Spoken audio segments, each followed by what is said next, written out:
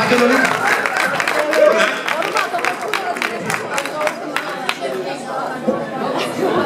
No, ma se la mia era...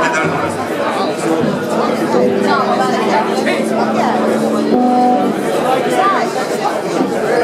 Dai!